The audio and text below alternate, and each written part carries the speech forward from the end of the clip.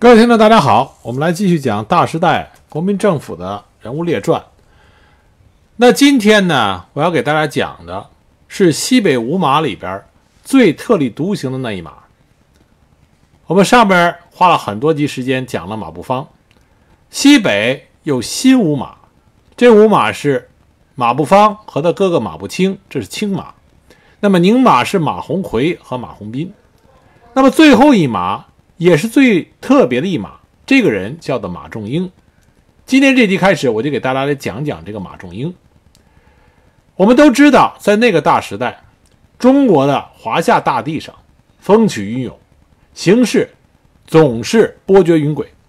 在这种情况下，往往会涌现出一些年轻人，他们有胆识，有魄力，在那个大时代里，敢于冲在时代的最前面。那么留下了很多让人争论不休的事迹，也给广大老百姓的饭后增加了谈资。这些人的身上，往往在他的身后留下了很多关于他的传说和疑团。马中英就是这里边非常典型的一位。关于马中英，有两本非常著名的文学作品，一个是在。跟马仲英同一个时代的英国人，叫做斯文赫定，啊，他是瑞典瑞典人啊，瑞典探险家赫文斯呃斯文赫定，他在他最后一次中国探险的时候，路上遇到了马仲英啊，具体细节我们在后边会讲到。那么这位斯文赫定在回到他的故国以后，写下了《大马的逃亡》，就是描述他所见到的这位充满了激情而又年轻的中国将领马仲英。啊的一生。另外一本书呢，是中国当代作家洪科写了一本关于马仲兴传奇生涯的长篇小说《西去的骑手》，是第六届茅盾文学奖的入围作品。这两部书都给读者留下了深刻的印象，他们塑造出来一个令人神往的在中国大西北驰骋疆场的少年英雄。但真实的马仲英要远远比这两本书所讲的要复杂的多。我们从这一集开始就争取比较客观公正的、不避讳的谈论一下马仲英到底他是一个什么样的人。在大西北，马仲英是一个富有传奇色彩的人物。他很年轻就去世了，他的死到现在都是一个谜啊。我们后边会讲到。那么，一般官方的说法说他只活了二十六岁，但是他在这短短的一生里边，却做出了很多惊动整个大西北，甚至震动整个中国的事情。他三围河州，两乱河西，洗劫了永昌城，在民勤大开杀戒，屠杀了老百姓，骚扰宁夏，最终被马步芳青马赶出了甘宁一带。啊，呃，清甘宁一带，然后他就出师新疆，在新疆跟盛世才大战，消灭了东突厥妄想分裂中国领土的势力，最终他去了苏联，不知所终。这些事情，每一件事情放在单独一个人身上，都是会让老百姓啊津津乐道的事情，而在马中英的身上却发生了一系列。因此，在西北民间广泛流传着关于他的许多事迹，甚至还有民间艺人为他编写了马仲英打宁夏的小调，到处传唱，啊，到处传唱。所以，我们今天就来讲讲马仲英是怎么一步一步的成为了西北啊一个传奇人物的。那马仲英的发家，这要说一下当时的大背景，大背景就是国民军入甘。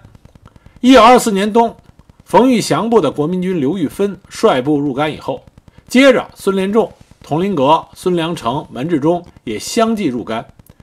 当时甘肃八镇的镇守使分别是陇东的张兆甲、陇南的孔繁锦、肃州的吴同仁、河州的裴建怀、宁夏的马鸿宾、西宁的马林、凉州的马廷香、甘州的马林啊，这两个林是不同的林。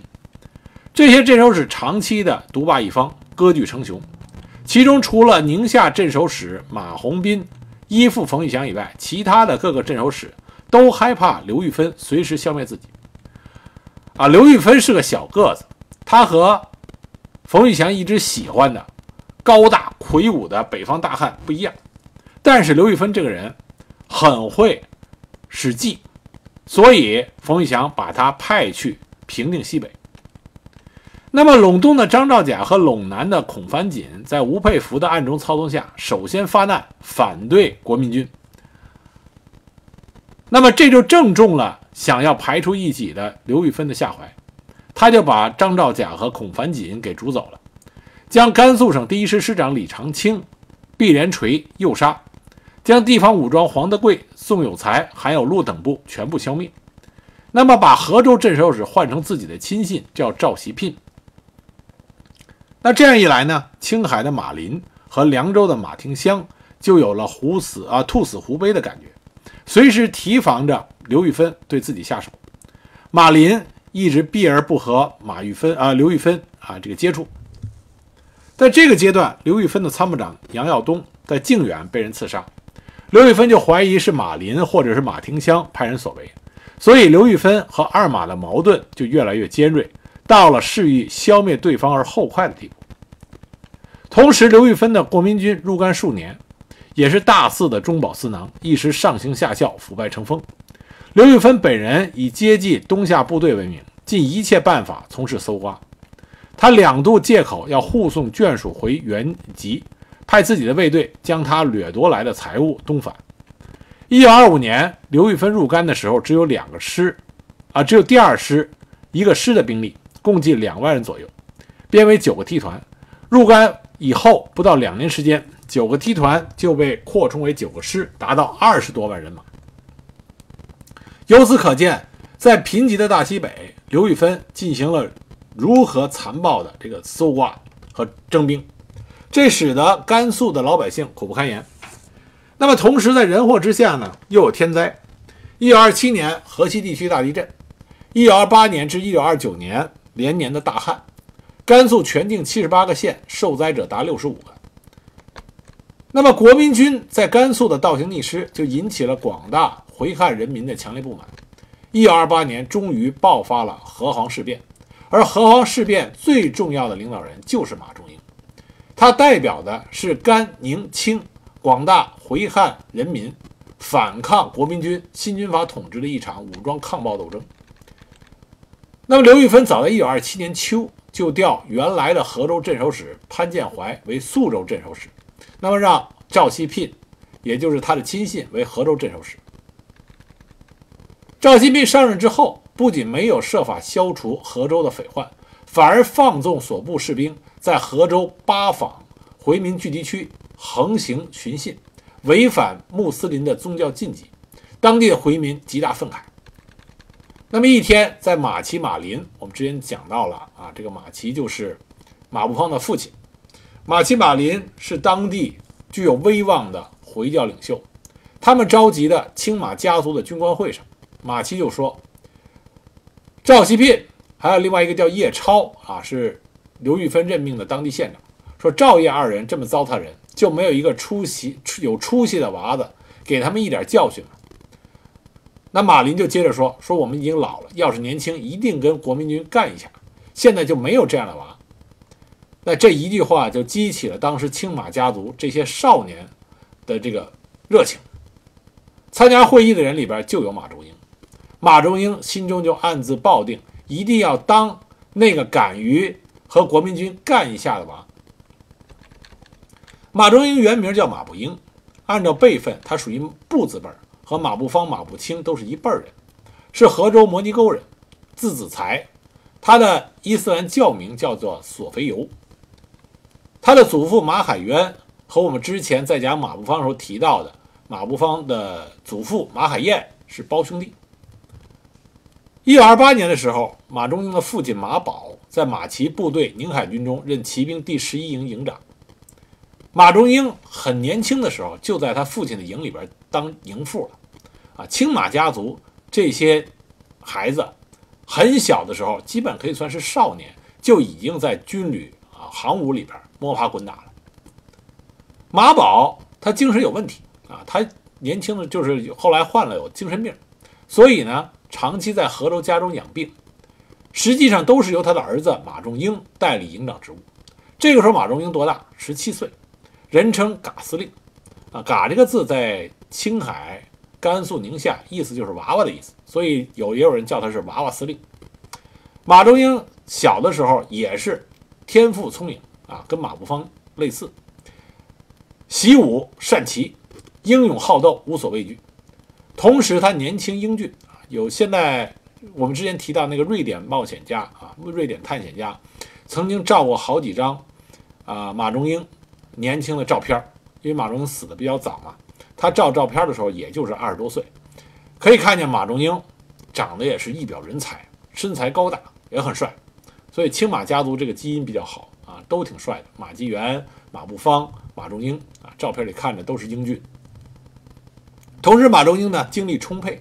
马仲英这个东西虽然马啊马仲英这个人啊，马仲英这个人，无论是哪种说法，但是大家公认的一点是，马仲英这个人好学。他碰到他觉得可以增长他的见识、增长他的才能、增长他知识的人，他总是不耻下问。对能够教给教给他知识的人，他都是很谦虚，态度很和蔼。我们后边讲到他和那个瑞典探险家的经历时候，我们就可以看出来。啊，马仲英一般不多说话，但是他说的话都是一口唾沫一个钉。而且马仲英这个人生活简朴，没有不良嗜好，喜欢广交朋友，重义气。和自己手下的官兵能够打成一片，这是为什么后来他在整个西北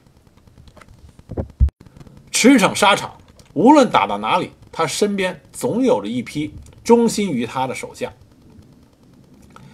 同时，马仲英喜欢接受新生事物，喜欢标新立异，但是他和堂兄马步芳存在矛盾，一山不容二虎，这两个人有一种寄生于何生亮的这种感觉。所以马仲英很早就把自己的名字里那个“不”字改成了“仲”字，从马步英改为了马仲英，表示他与马步芳家族决绝的意思。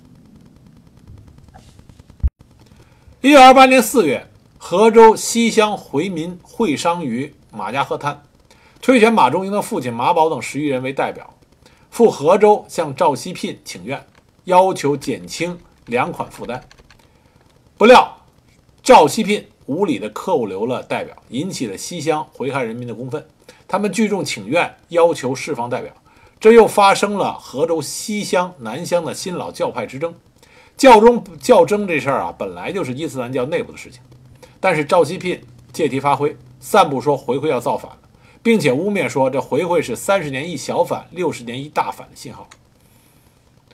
就向刘玉芬汇报，刘玉芬只是说这一次叫他三百年都反不起来。于是赵希聘就逮捕了较争双方的头目加以杀害，并将原来扣留的请愿代表送到兰州城杀害。国民军的这一举动就成为了河湟事变的直接导火线。风声传到了凉州、河州籍的军人，他们都以为家乡出了乱子，害怕重蹈同治元年和光绪二十一年的覆辙，所以奔走相告，忧心忡忡。在河湟地区，广大回汉人民的关系。和国民军的关系都紧张到了极点，犹如是一堆干柴。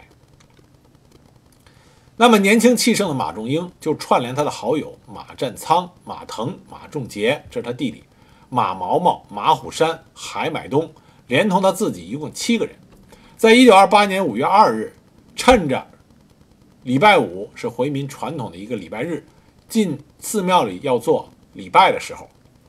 越墙乘马逃出了西宁城，直奔河州方向。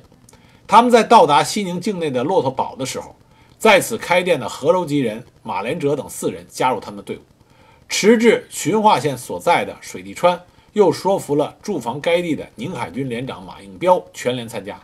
这样，马仲英等人由西宁前至了循化县城，向县署开枪，县长苗长会越墙逃跑。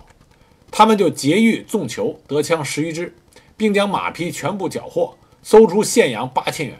离开循化以后，沿途搜集骡马枪支，至大理家山，试遇国民军招募的新兵官兵十多人，将其歼灭，复得快枪十多支。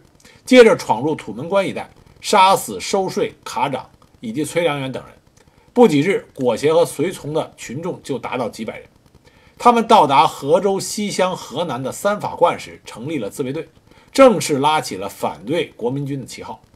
马中英提出的口号是：官逼民反，不杀回，不杀汉，单杀国民军办事员，不分回汉，团结一致，赶走赵希聘，反对国民军等等。从这些口号我们看出来，马仲英这个人，他并不是一个狭隘的啊回民的一种民族主义者，他更多的是有着比较开阔的啊这种民族呃融合的观点。但是，他所裹挟的这些啊跟随他的手下。还有底下加入他队伍的这些回民部属，这些人很多人都是狭隘的啊单一民族观，这为他后来发生的两次屠城事件留下了伏笔。同时，我们不要忘记，这个时候的马中英只有二十岁，二十岁成为一股主要军事力量的领领导人，无论在经验上，还是在驾驭部下上。他都还并不是很成熟的。那马仲英就请到河州韩家集的一个半通文墨的文人，给自卫队起了一个非常有意思的名字，叫做“黑虎西伏西冯军”。啊，一般来说我们听黑虎军这还很正常，不知道这个西冯西是呼吸的西啊，冯西冯军意思要把拿黑虎把冯玉祥的部队咬死的意思，我估计是啊，所以是很奇特的一个名字。马中英自封司令，马占仓为副司令。那马中英的黑虎西冯军，西冯军啊，黑虎西冯军在三法观日渐壮大，回汉民众纷纷参加，啊，这个时候是回汉民众都参加，很快就发展到了三千人。马中英这个时候就将黑虎西冯军改称为西北边防联盟军，发出布告说：“我军号为联盟，纪律务要严明，回汉一体保护，禁止任意欺凌。”本部派有密察，随时到处逡巡。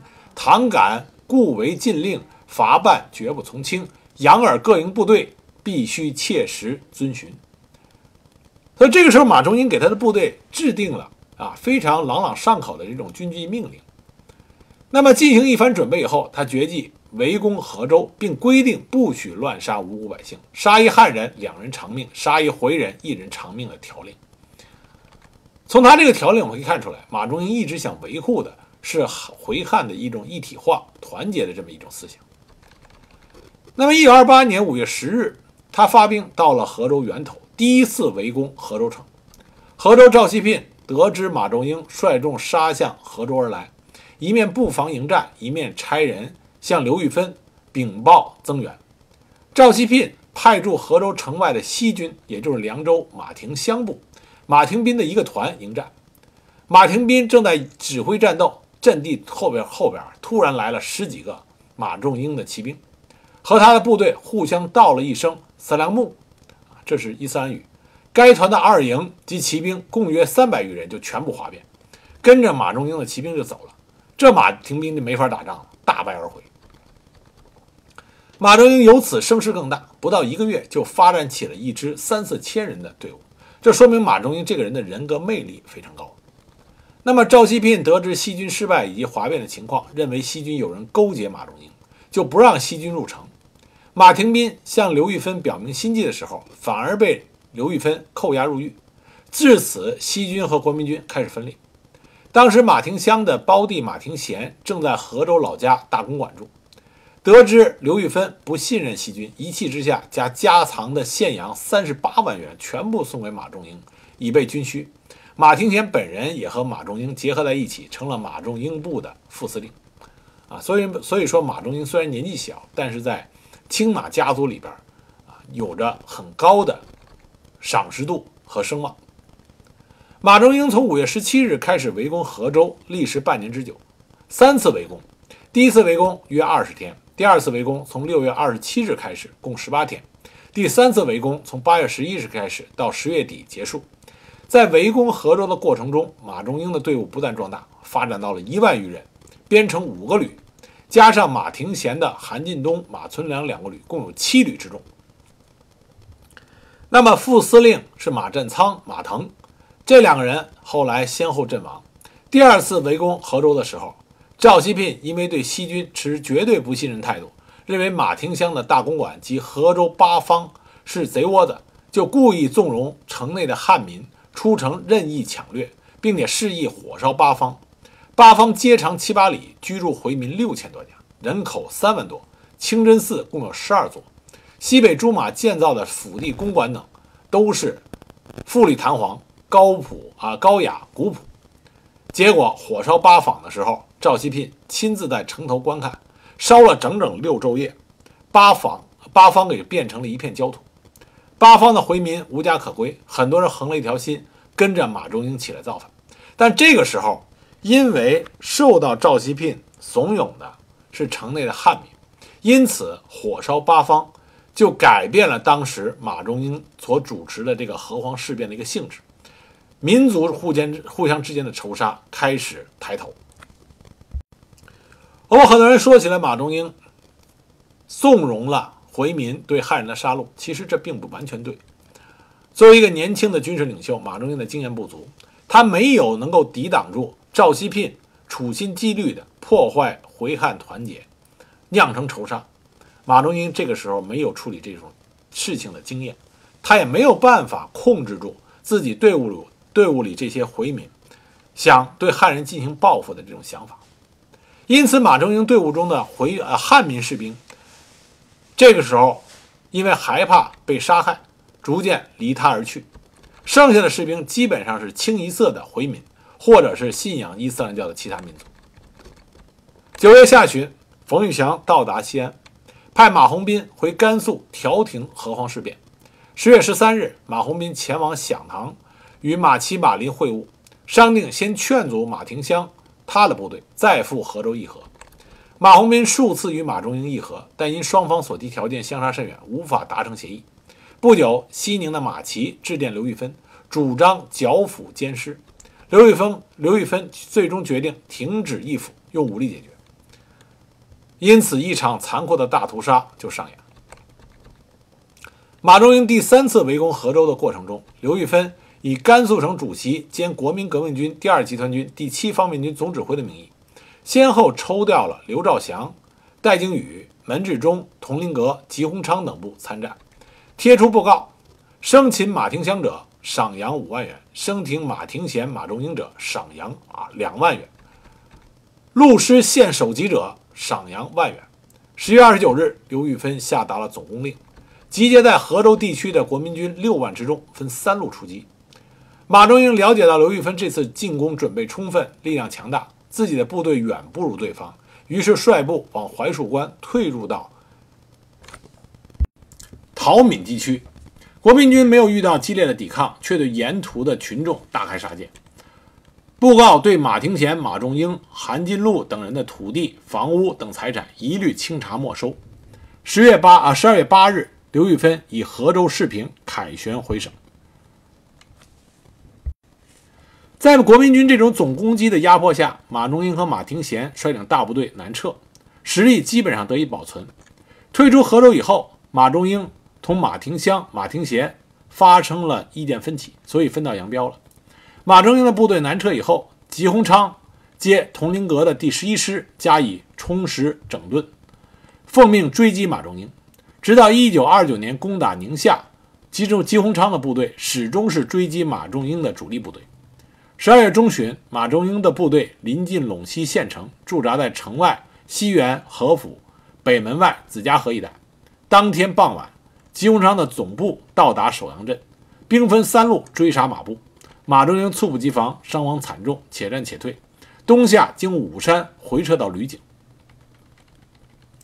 马中英率部队于一九二八年底经甘谷攻打天水，在天水城下被吉鸿昌部击溃以后。率部西走下河，就是拉普楞。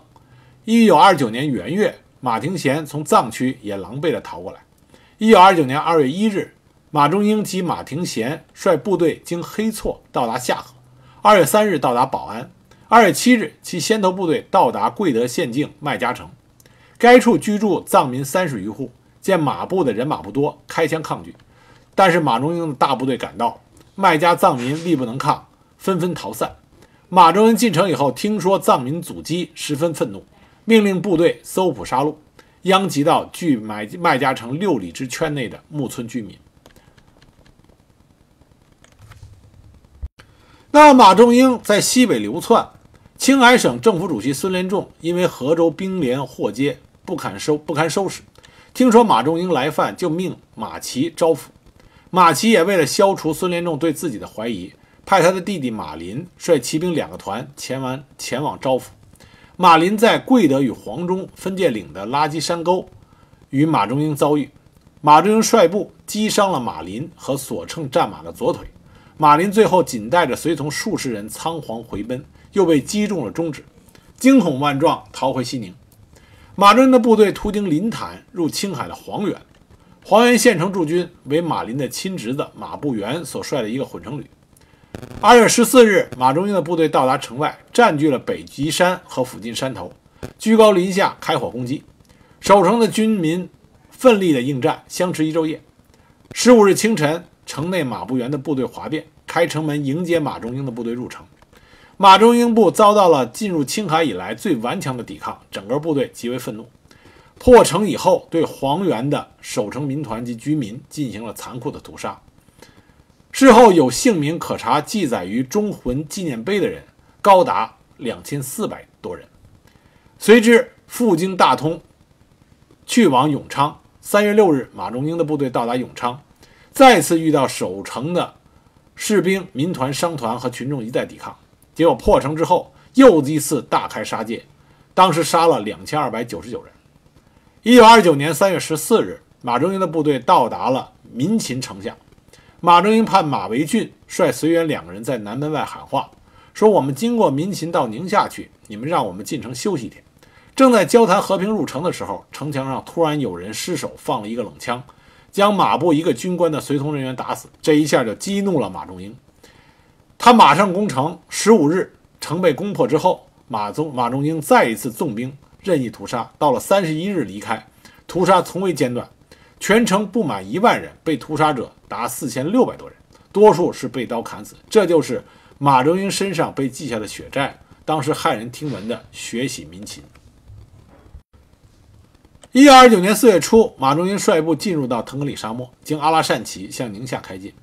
他从一九二八年五月二日起事到学习民勤，历经了十个多月，在甘肃省窜扰了二十一个县，由七人起事发展到七旅之众一万余人，这在西北历史上都是非同小可的历史行动。但在这个期间，马仲英没有脱离民间这种流窜性的啊，类似于土匪性质的武装这种性质。他的几次对无辜百姓的血洗，都是他身上不可洗掉的污点。这说明马仲英在他早期的军事生涯里边，并没有能够摆脱他作为西北青马家族刚开始的民族狭隘性，对整个局势的啊整体观，在这方面都很非常的缺失。所以，他早期的这个军事生生涯，给他的一生。留下了难以磨灭的这个污啊，这个污痕。就在马仲英围乱西北的时候，一九二九年一月一日，宁夏省自治区正式成立，冯玉祥任命所部第七军军长门志忠为省主席。那马仲英窜到民心之后，刘玉芬急电门志忠要加强防范，结果门志忠这个时候轻敌思想十分严重，认为马仲英已经溃不成军，无力再战，进犯宁夏绝无可能，于是满不在乎。结果，马仲英四月初经民勤越过腾里沙漠，奔赴阿拉善左旗的时候，门志忠仍然以为马仲英是疲于奔命，置之不理。马仲英的兵过了贺兰山口，向宁夏扑来，门志忠竟然认为是下面的人谎报军情。一九二九年四月十二日，马仲英占领了距省城四十余里的新城，门志忠才意识到情况不好，手忙脚乱起来。四月十五日，马仲英率部队开始攻省城。门志忠这个时候掌握的两个基本队伍，是冯安邦、吴鹏举的两个旅，当时分别驻防在惠安堡和同心，城内只有三百多的守军，另有马鸿斌离宁的是离离离开宁夏的时候留下的极少数会说撒拉话的老弱士兵。门市中连机关职员和学生都组织起来上城防守，眼看着马仲英的部队人马如尘烟滚滚而来。守城的军民个个是胆战心寒，自知难以抵御，大部分人都做出了逃跑的准备。那马中英的部队攻城的时候，马鸿宾部下的一些撒拉族的士兵就在城墙上用撒拉语喊说：“城内无守军，你们放心攻吧。”门之中的士兵问他们说什么，他们就说：“我们在骂他们。”那城破之时，门之中见大势已去，就带着几个随从从人群中挤出大南门，徒步向南奔逃。幸亏途中碰到一个农民，赶着一辆拉柴的车，就从车上把骡子啊卸了下来。门之中骑着骡子，随从跟从在后，一直跑到了养和堡。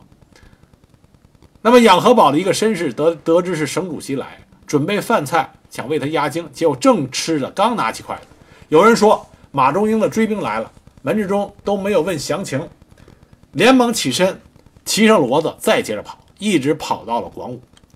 跑到广武之后，门志中调集自己的所部冯冯安邦和吴鹏举两个部队。到广武广武集中，他一面电请刘玉芬速速的派兵增援，同时紧急的组织地方的民团武装力量，准备反攻收复省城。马中英攻占省城之后，司令部驻扎在马福祥的将军邸内，部队分驻各机关、学校的公共场所。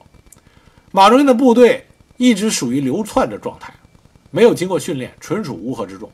那么对居所之内的家具。门窗肆意破坏，还抢劫了三家商店和西北银行。抢银行的时候，大洋是整箱整箱的往外搬，拿不了的就分给围观的群众。有些群众跟着发了财。在这次混乱之中，打死了公职人员八十余人，连同士兵百姓，全城死亡两百多人。当时省府秘书赵雪田、省立第一中学校长王其昌都是在变乱中被打死了。马中英占领了宁夏城以后，一面进行军事部署，待国民军反攻的时候做防御准备；另外派其手下的安旅长率部攻打北边的平罗县苏雨生部，以解后顾之忧；又派马千部从南路追击门志中部，还派宁夏商会会长李玉堂到广武向门志中说和，让门志中仍回来当省主席。马中英只管带兵，采取军政分治。结果门志中当然不答应，结果碰了一鼻子灰。五月十日，国民军第三十师吉鸿昌援军到达了中卫县，和门志中的部队会师。二十二日，在大坝与马前部交战，两个小时的恶战，吉鸿昌部的牛锦秀团长阵亡，部队受挫败退。二十三日，吉鸿昌重新整顿部署，让门志中的两个旅攻击两翼，自己亲率本部主攻正面。吉鸿昌。脱了上衣，赤膊提刀督战，再次向马中英发动进攻。这次激战中，马中英的旅长蒲兆明、团长马有德战死，一个叫扎毛眼的旅长也重伤死亡。吉鸿昌部也伤亡惨重。战至最后，马前部不支，全线崩溃。吉鸿昌跟踪追击，直到了望洪堡一带。吉鸿昌那可是西北军冯玉祥手下赫赫有名的猛将啊。这在后来中原大战中也有所表现。那么他在对阵马中英的部队时候打得如此的惨烈，由此可见马中英他的手下也是骠勇悍战。那马中英部队的北路安旅长率部至平罗城下，原以为弹丸之地，一攻即破，结果不料苏雨生的守军英勇顽强，多次打退了马部的进攻，使其死伤狼藉。苏雨生的军队和临时招募的猎户枪手。紧密团结在一起，多次用土炮摧毁了攻城部队爬成的云梯。久攻不下，马中英的部队损失严重，锐气顿挫。而城内苏雨生的部队也因为久困，弹药难以为继。苏雨生就以假降骗取弹药，同时派人联络，愿意亲往省城与马中英洽谈降顺事宜。马中英毕竟还是年轻，得报大喜，立即让苏雨生来省城面谈。苏马见面之后，苏一再表示归顺，提出自己部队弹药匮乏，需要补充。马中英看见苏雨生态度恭顺，心中大喜，当即就表示接济，拨给苏雨生子弹三车，让何团长连同平罗县啊县长一职的啊张县长随从八人，和苏雨生一起前往平罗。结果到了平罗城外，何团长因为另有军务，就暂留。安旅长安旅长处啊，没有进城，其他九人进城，结果就被苏雨生全部活埋了。而苏雨生得到子弹三车的补充，士气大振。马中英知道自己受骗以后，气愤至极，觉得苏雨生不讲道义，就命令安旅重新组织力量强攻，生城城破之后鸡犬不留。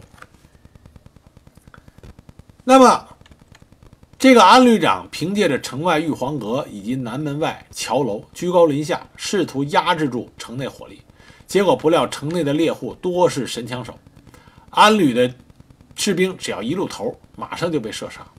与此同时，苏雨生命令自己的部队用炮火将南门桥楼轰塌，楼上安旅的士兵全部被压死。那么，这安旅长又制造了云梯一百多架，倾其全力攻城，双方面激战的难解难分。数小时之后，城外尸横遍野，这个安旅终于不支而败退。南路马迁的部队也败退之后，马中英眼看大势已去，守省城无望，于是就开始做逃跑的准备。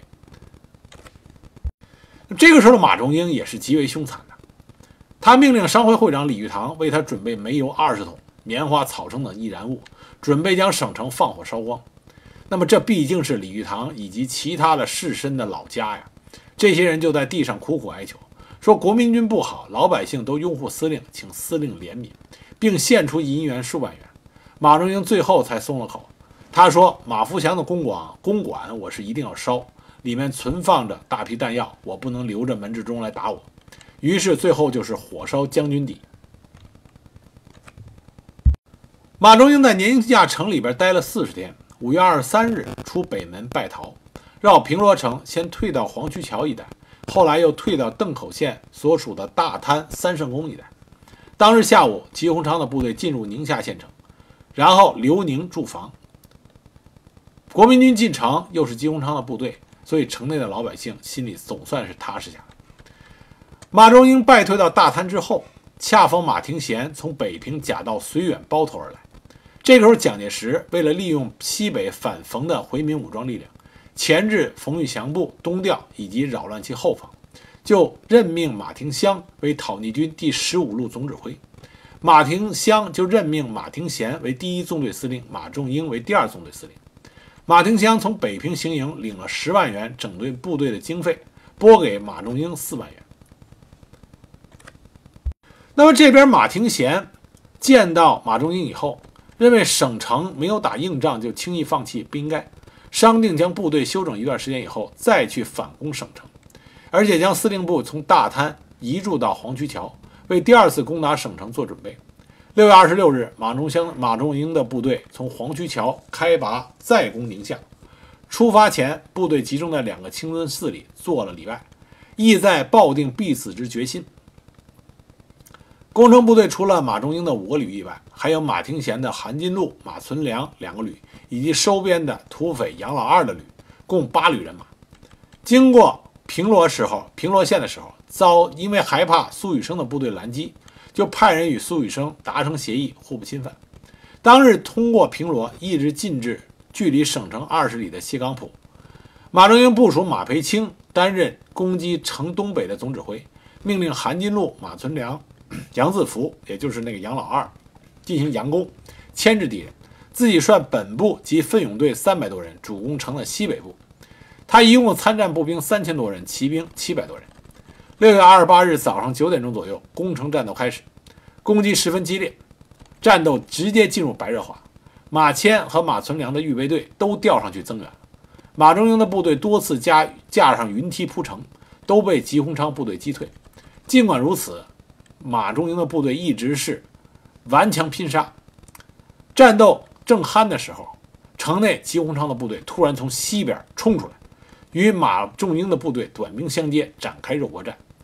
为时不久，又被马中英的部队赶进城去。接着，守军又冲出来，这样来回来去四次。由此可见，战斗是格外的激烈。战斗到下午，驻新城的冯安邦旅前来增援吉鸿昌的部队，马中英部前后受到夹击，终于不知败退。战斗中，马中英的弟弟马仲杰负伤，另外那个叫马毛毛的师长战死在城墙根下。敢死队三百多人无一生还，伤亡官兵六百余人，而吉鸿昌的部队的官兵伤亡也在六百人以上。这一仗，马中英的部队终于元气大伤。这个部队从起事以来从来没有经过严格训练，但是他仍然能够跟西北军的精锐之师吉鸿昌的部队战得难分难解啊！由此可见西北回民的战力之高。这个时候战败，就显示出没有经过严格训练的部队，大家都自顾逃命，军纪大乱。很多被裹挟的士兵和企图发财的百姓，沿途就直接溜之大吉，做鸟兽散了。而吉鸿昌的部队兵分三路，穷追不舍。马中英率领残部向邓口、石嘴山后套逃去，随后在后套集中整顿队伍的时候，总数已经不足五千人马，而且士气低落，兵无斗志。后套一带的百姓听说马中英到来，也纷纷逃离，粮食都被藏匿起来。马洪、马中英的部队在这个时候连口粮都产生困难，但是马中英不但不敢劫掠，连摊派告诫也不敢提出，只能派代表向当地的教堂求告，借助旧时。教堂为了避免引起冲突，答应提供部分的军粮，但是因为粮食这个时候正是青黄不接的时候，教堂只给了他们大量的山芋。就在马中英一筹莫展的时候。忽然听说马鸿宾派原在马中英部担任团长的马福堂来到，洽谈收编之事。谈判未成，马福堂也没有回去复命，留在了马中英的部队。啊，这再一次验证马中英这个人人格魅力很强啊！那马鸿宾派来跟他谈判的人，居然没回去，留在他这儿了。那么马中英就将兵权交给了马谦，自己带着马仲杰和马福堂去北平会见马廷香，商讨出路。马中英到了北平之后，看见马廷香昏庸无能，又没有兵又没有枪，只是挂着一个十五路军总指挥的空牌子。马福祥、马鸿逵父子收买了一批旅居北平的甘肃人，在街上游行示威，反对马廷香、马廷贤。蒋介石又下令撤销了马廷香讨逆军十五路军总指挥的职务。马中英兄弟俩在北平一无所获，就从南京啊，从天津到南京。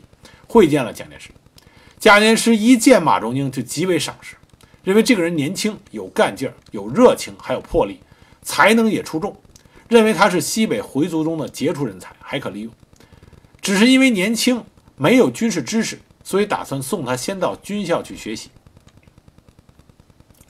当时马福祥任南京政府蒙藏委员会委员长，正在为他的侄子马鸿宾和他的儿子马鸿逵。活动甘肃省主席和宁夏省自治主席的职位，认为马中英如果被重用将不利于他们，于是就跑到蒋介石那里，隶属马中英在甘宁两省的罪恶。马鸿逵也向蒋介石要求将马中英交给他管教，马福堂也建议马中英暂时投靠马鸿逵，再图发展。马中英就听从了马福堂的建议，回到北平，派人与驻防徐州的马鸿逵进行联络，接着又派马福堂。亲自前往与马鸿逵、马鸿逵洽谈。不久，马鸿逵派马如龙到北平和马中英接触，商定让马中英回后套后，将骑兵全部经平绥、金浦路设法转徐州，共谋合作发展。马中英回后套以后，见到部队粮食已经告罄，挨饿受罪的情况，于是宣布接受马鸿逵改编，部下也没有异议。不几日，马鸿英啊，马中英。率领骑兵两千余人从后套出发前往包头，结果部队行至半途突然哗变，转身复向后套开去。马中英无奈之下，只带了一百多人赴包头。在包头和马如马如龙相见以后，继续向北平进发。途经大同的时候，这一百多人骑兵又被阎锡山的部队扣留了。后经马福祥出面交涉，才放人。至此，马中英结束了对甘宁清的啊窜扰。马中英投奔了马鸿逵的时候，马中马鸿逵已经担任了第十五路军总指挥。马福祥让马鸿逵对马中英优为安置，勿令意去啊，就是你好好对他，不要让他跑了。马鸿逵对马中英的人马编为李汉元独立团的第二营，并让马中英担任总指挥部少将参议，马仲杰也是他的弟弟，为十五路军教导团少校参谋。那么留在后套的马中英的部队群龙无首，分为几股，一股由马谦率领。约三千人左右，回到宁夏接受了吉鸿昌的收编。一股由韩金禄率领，约三千人，这多数都是老西军的人马，回到宁夏被吉鸿昌收编以后驻防灵武。一股由马存良率领，约数百人。被吉鸿昌收编以后，任马存良为金鸡警备司令，后编入马红兵部。另外一股由马汝仓率领，约千余人，受金鸿章收编以后驻中宁，以后随着马廷贤骚扰陇南。一股由马占边啊马马占彪率领，没有受到收编，窜扰陇南一带。那回到马中英这边，马鸿逵部的独立团团长李汉元，他是共产党员，当时已经脱党，是以同乡的关系在马鸿逵部任职。在他的推荐推荐下，留苏的黄埔军校毕业生吴英奇，莫斯科中山大学学生张雅韶。先后在马部的教导团任教官。那马中英在马鸿逵部队的时期，经常与这些人接触。马中英这个人的特点，就对新生事物非常感兴趣。他就像一个孜孜不倦、呃孜孜不倦学习的海绵一样，吸收着所有他所见到的新生事物和新的理论。所以，他和这些人接触，吸收到很多新的思想，并且引以为知己。李汉元等人极力地支持马中英重返西北。一九三零年七月，马中英同吴英奇、张亚韶、马世勋等人离开了马鸿逵部，由济南取道京绥路返回宁夏，准备收拢旧部，东山再起。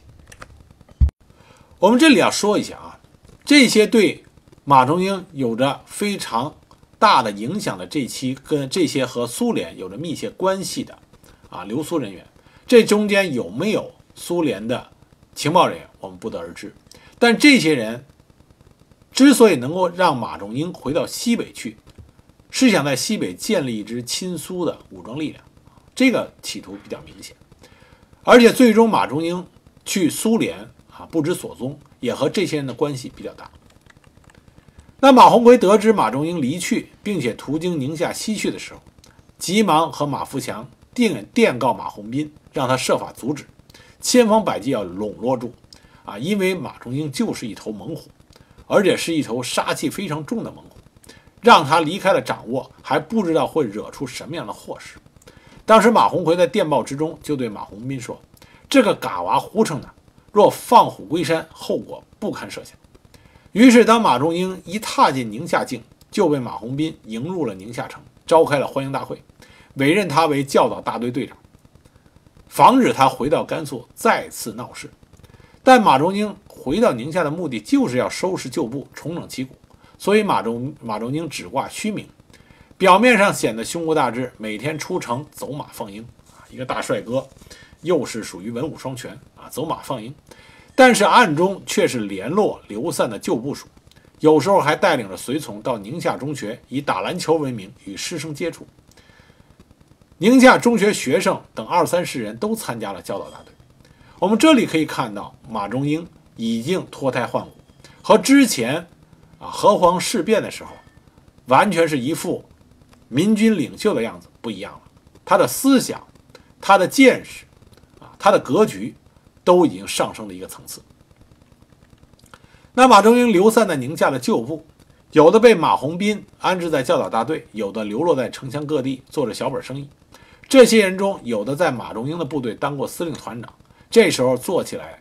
啊，做凉面这种小小本生意，所以民间有锅贴司令、凉面团长的说法，啊，可见在西北民众的民呃这个老百姓的民间说法里边啊，马仲英的部队永远是大家最爱津津乐道的话题。是年十月，马仲英与联络好的几个骨干，借放鹰为名，沿着贺兰山驰往中卫，旧部马老四也率众从广武赶来会合。教导队的旧属部分学生，以及城内外流散的旧部，还有一些河州籍的回民，马鸿宾部的一些士兵都络绎而来。这都是马仲英他的名气所致。马仲英提取了中卫盐局银币两万元，又向中卫县政府索要银币五千元作为经费，自封为河西保安司令，黎宁复甘，利用宗教关系发展实力。黎宁之前，他派人与驻甘州的马谦联系，没有答复，只与马谦驻山丹的骑兵团长马文祥取得了联系。那么，马仲英一行路过凉州的时候，驻防凉州的宁海军马逊派人携带银币八千元，八千元，妓女数人迎接。马仲英只留银币两百元，其余的一概退还。对凉州秋毫无犯。至丰乐浦与前来迎接的马文祥骑兵团相遇，加上这个骑兵团，马仲英这个时候有了千余人马。那么驻防甘州的马谦把马仲英迎入甘州，马谦共有两个步兵团和一个骑兵团，骑兵团已经被马仲英掌握。马谦与马仲英始终不和，终于在一九三零年十一月某日，马谦约马仲英洗澡，暗中派人刺杀。马仲英怕发觉以后逃脱，就率马文祥的部队包围了马谦的司令部，马谦的两个步兵团也投向了马仲英。马谦自知不敌，出面受降，痛哭请罪。马仲英厚赠银两，将其送到天津做御工。所以马仲英这个人是很讲情义的。那马仲英在一九三零年十二月宣布成立了甘宁清联军总司令部，自任总司令，下设八大处，撤换了宿州、甘州十一县县长。一九三一年三月，马仲英谋划甘州四县、宿州七县为河西省，拟自任省主席，以号令边疆。但是马仲英的这一次东山再起，引起了他同族的兄弟，也就是马步芳的嫉妒，因为这个时候马步芳已经是青海陆军新编第九师师长。这个地方，马仲英盘踞的地方，对于马步芳来说，这是自家的地盘。马步芳不能允许和自己有旧怨的马仲英在这里盘踞，于是，在一九三一年夏天，马步芳悍然就开始进攻马仲英。马仲英当时主力远在宿州，救援不及，就丢失了张掖。马步芳乘胜开始进攻酒泉。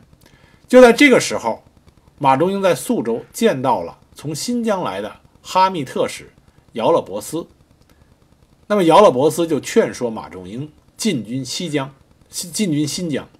马仲英这个时候正在跟马步芳打得难分难解，并且啊，并没有占优势。马仲英本人也不太愿意和自己的青马家族啊拼的两败俱伤，于是马仲英就一拍即合，领兵出兵新疆，展开了他军事生涯中啊最为光辉的一页。我们下一集再给大家讲马仲英在新疆与盛世才展开的连番大战，和后来消灭东突啊妄想独立的这个分裂势力啊。最终，马仲英去了苏联啊，不知所终。下一集再给大家讲后边的故事。